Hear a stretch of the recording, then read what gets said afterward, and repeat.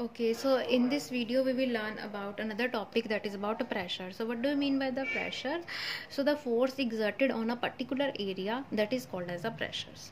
For example, when we move on a sand, our feet get sink into it. But it is difficult to walk on, for us on the sand. On the other hand, the camel can easily uh, walk on the sand.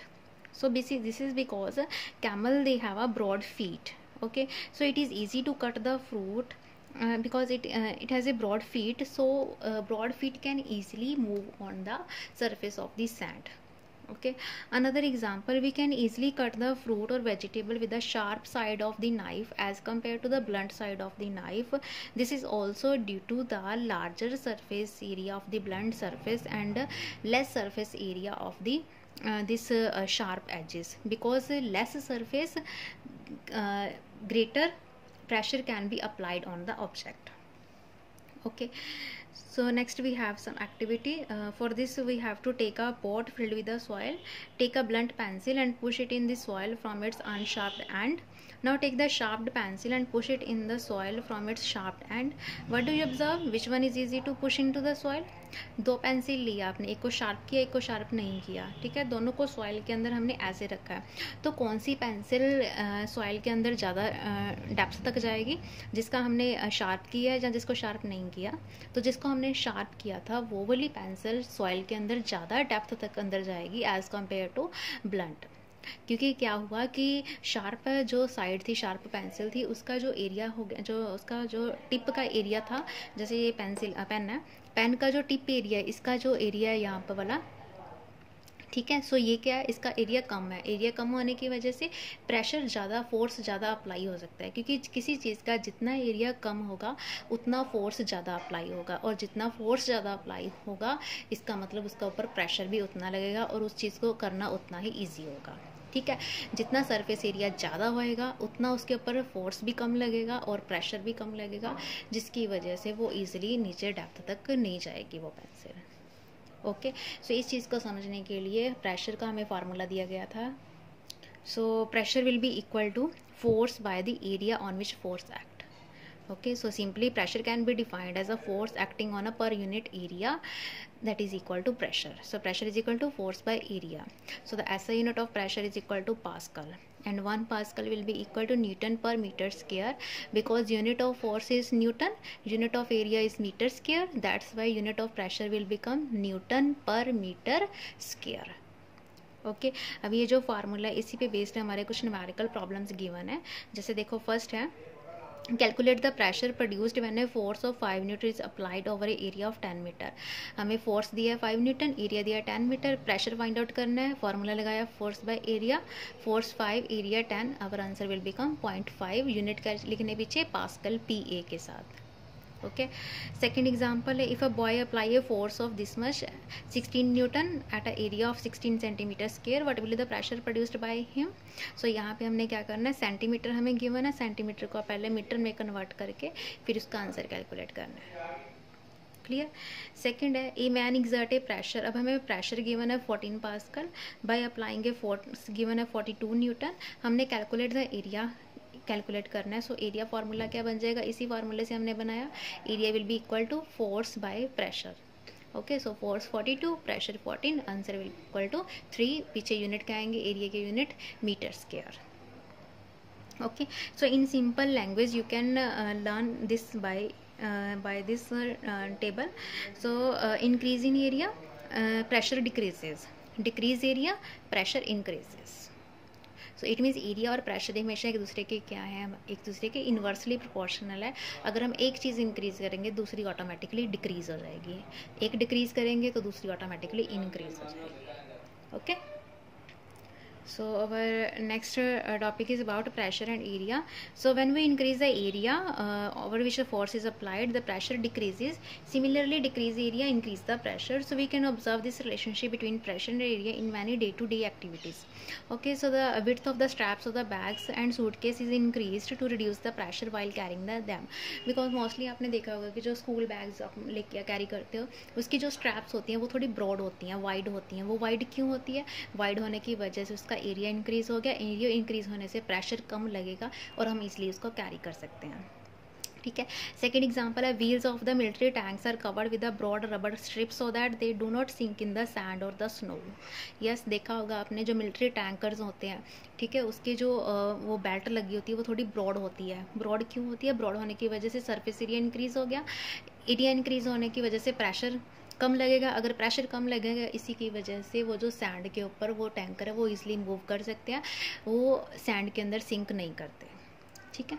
Third example it is more comfortable to wear a broad heels while walking on a soft surface yes same reason because broad heel has a greater area less pressure is to be applied on it elephant and bears they have a broad feet to help them walk on the soft surface without falling same reason greater area less surface is to be uh, less area sorry greater surface uh, area less pressure is to be applied on them so that they can easily move on the surface. Okay. Next we have uh, so this is the pressure that is applied by the solid objects but pressure can also be exerted by the liquids also okay? Because a solid they have a definite shape and uh, pressure exerted by them depend on the contact area. However liquid they do not have any definite shape so the pressure exerted by them that will depend upon the depth of the water column. Okay? So they exert pressure not only at the base of the container but also on the sides of the container also. Okay for this we have an activity. For example take a glass tube that is open at both the ends. Now fix a rubber balloon at the lower end of the tube. Put some water in it and observe the balloon now pour some more water in the tube and again observe the balloon okay? So we will observe that balloon start bulging outward like this. So the bulges increase with increase in height of the water column okay so repeat this activity using a different liquid so this shows that pressure exerted by the liquid at the bottom of the container depend upon the height of the liquid column मतलब liquid की height के ऊपर depend करेगा जितना liquid का height होगा उसी पे depend करेगा कि कितना pressure उस object के ऊपर लगा हुआ है clear now we have second activity so in this we have to take a plastic bottle now punch three holes in the bottle at the same height okay punch these three holes at the same height now pour some water into it and left uh, let it flow through these holes then observe it we will observe that water comes out from all the holes with the same force and falls at the same distance मतलब उसमें से जो पानी बाहर आएगा holes में से वो इक्वल डिस्टेंस के ऊपर और इक्वल टाइम इंटरवल के ऊपर बाहर आएगा और इक्वल फोर्स के साथ बाहर आएगा ठीक है? Next we have another activity in this activity we have to take a same water but now we have to make hole at the different height for example we have to make first whole like at lower surface one at the middle surface and uh, one at the low, upper surface. Okay now fill this bottle with water. Now observe how water comes out from this hose. Then you will observe that that uh, at the lower surface where hole is to be present then water comes from this lower surface will be reaches to the greater height like this.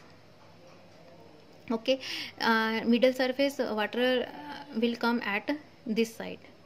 And from the upper surface water will come bilkul on this side okay so uh, this repeat this experiment with the different liquids also then we will prove that liquid pressure varies with the depth and the pressure increases with the depth of the liquid okay okay, मतलब जैसे जैसे depth पानी के नीचे नीचे जाएँगे वैसे वैसे उसका जो प्रेशर है वो इंक्रीज होता जाता है मतलब अपर सरफेस पे प्रेशर कम होता है वाटर के और लिक्विड के लोअर सरफेस के ऊपर जो प्रेशर है वो ज़्यादा होता है okay?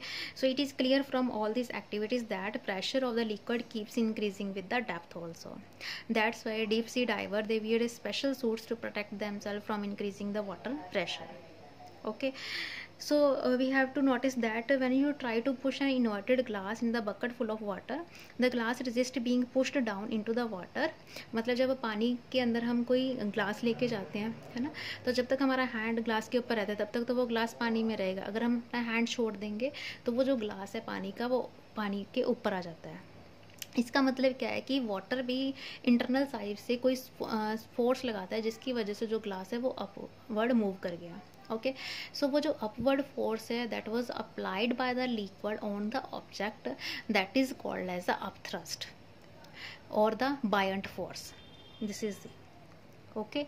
So that force which is exerted on the upward direction by the liquid to move the object in the upward direction that is called as the buoyant force and this property is to be called as the buoyancy clear what do you mean by buoyancy or the buoyant force? So the force that is applied uh, by the liquid on the upward direction that is called as a buoyant force. Okay?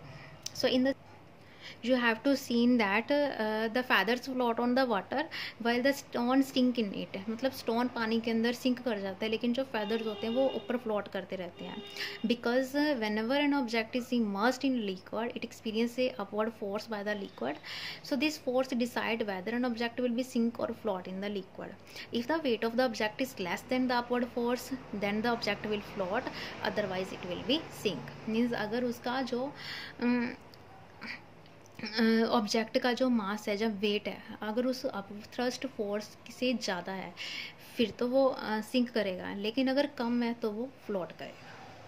Clear so next point is about the atmospheric pressure so what do you mean by atmospheric pressure so in the lower classes you have to learn that liquid exert the pressure okay in the similar way gases can also exert the pressure मतलब पहले हमने solid में पढ़ा कि वो pressure exert करती हैं, फिर लिक्विड में पढ़ा कि वो भी प्रेशर एग्जर्ट करते हैं।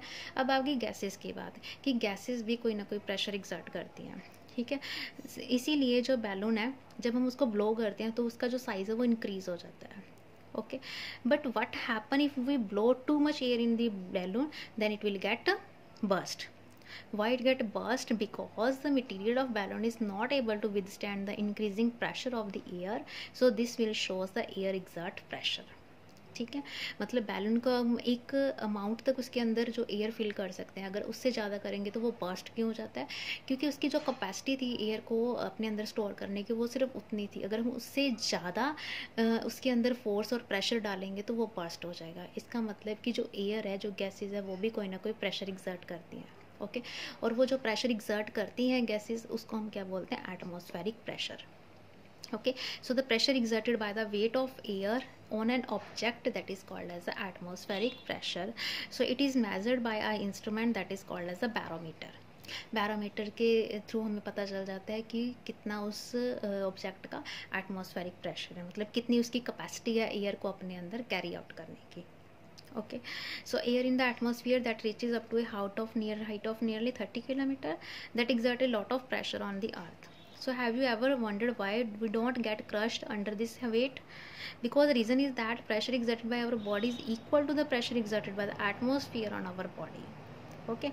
So this nullifies the effect of the atmospheric pressure okay so to show this activity uh, you uh, so this activity you can also perform at your home also uh, so you have to take a glass now fill it with water now cover this uh, glass full of water with the cardboard okay okay? उसको अच्छे से uh, ऊपर से उसको uh, मतलब cover uh, करना है और उसके ऊपर थोड़ा प्रेशर अप्लाई कर देना है ठीक है सो so, अब क्या करना है आपने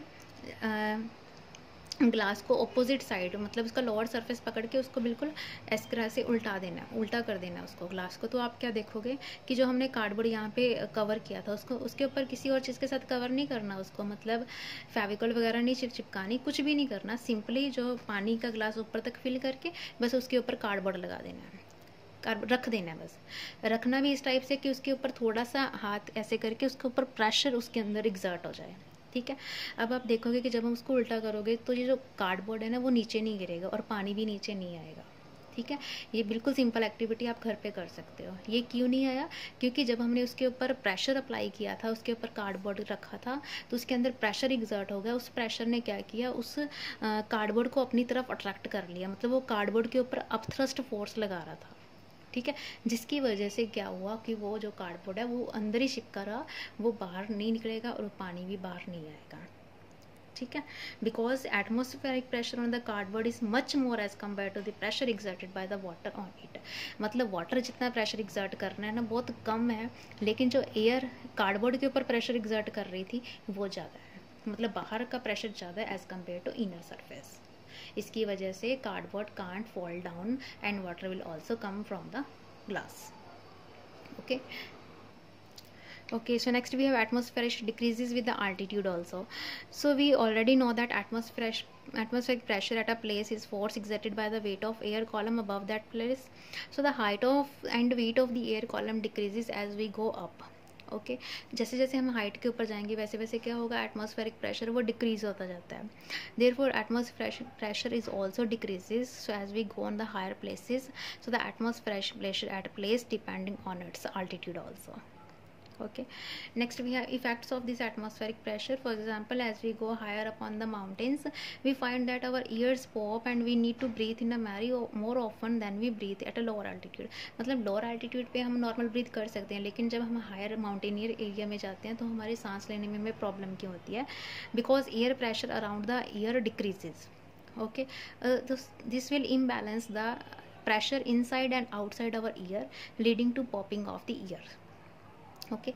Next astronaut wear a specialized pressurized uh, suit as there is a no air and atmospheric pressure in the space. So these suits prevent their blood vessels from bursting and imbalance between the pressure of the blood and other fluid inside the body and lack of pressure outside would otherwise make the blood vessel burst okay? Next mountaineers often encounter problems like nose bleeding. When they reach their high altitude this is also because pressure exerted by the blood into their body becomes much higher than the pressure outside making the blood vessel burst also. Okay?